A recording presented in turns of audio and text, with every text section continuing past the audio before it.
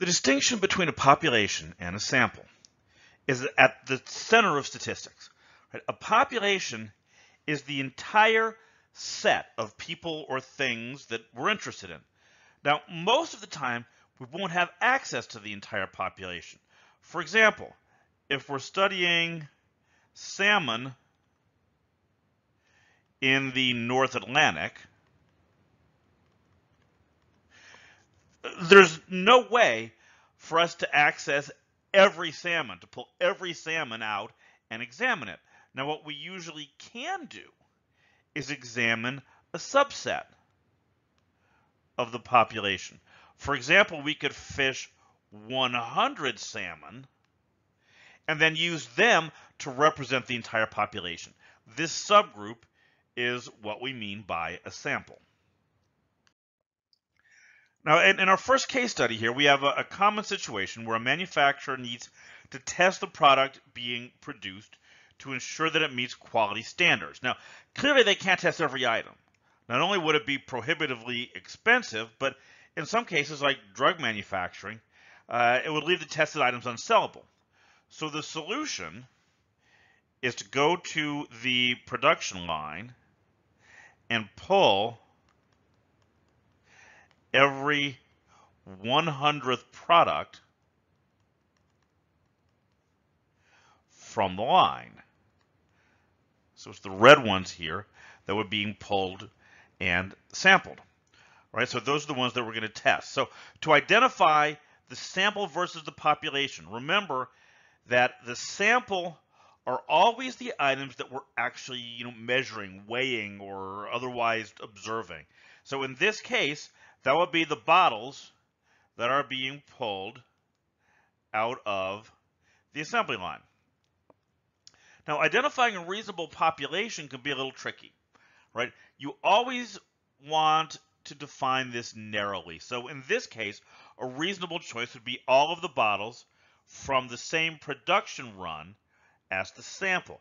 Anything broader than that, for example, all the bottles produced on a given day, that would probably be too much, right? Because if the machines have to be reset or resupplied, for example, that could cause errors in an afternoon batch that you didn't see in the mornings. So this is another situation uh, where we have to think narrowly, right? The sample are the 100 students that we are actually going to be interviewing. Right now, you might be tempted to say that uh, the population is all the students in the school. Right? But this would be too much, right? I mean, you're reasoning that everyone in a given region, for example, will have different tastes. But the problem with this is that students change significantly over the four years between 9th and 12th grades. So it isn't necessarily reasonable to assume that the tastes of freshmen are going to represent the taste of seniors. Right? So in this case, I wouldn't expect the population to be anything more than just that freshman class. Now in this case, it's it's the all part in the description uh, that, that makes the this a little tricky. So to answer this, you have to know what the researcher's goal was. If, for example, there was some issue with that particular two mile stretch, right, then that was all the researcher was interested in. So the alligators that were measured will be both the sample and the population because he surveyed all of them.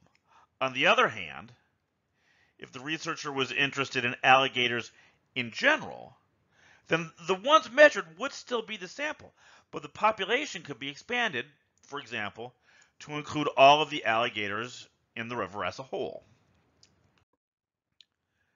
So for the rest of the class, uh, we're going to be talking a lot about values calculated from data. For example, averages and percentages. And it's going to be important that we have a way of distinguishing between values that describe a sample that we'll actually be able to calculate, and values that describe a population, which generally speaking we won't.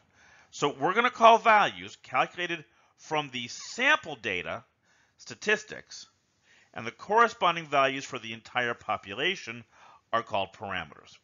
So I've gone back to our first sampling example here.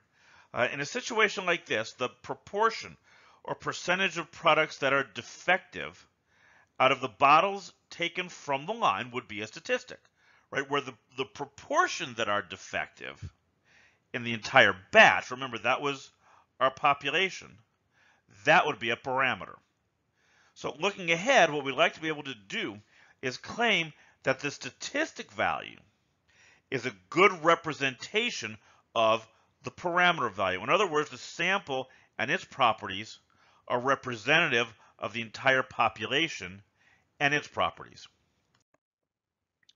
Okay, so uh, what's coming up next? Uh, in the next uh, series of lectures, five or six of them, um, we're going to kind of take the next step and talk about variables. Right? What, what does a variable mean uh, in terms of statistics? We're going to kind of contrast that to the variables that you're already familiar with from your algebra classes.